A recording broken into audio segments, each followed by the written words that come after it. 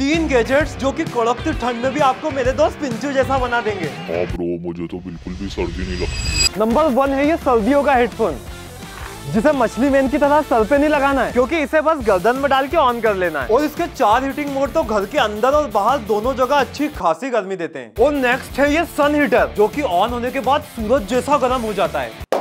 ओहो बहुत गर्म है भाई ये तो। और लास्ट है ये आग जैसे जलने वाला बल्ब तो नीचे इस हीटर को जलाओ और ऊपर आग जलने के मज़े लो। तो ऐसे ही गैजेट्स की वीडियो के लिए सब्सक्राइब टू टेक एफसी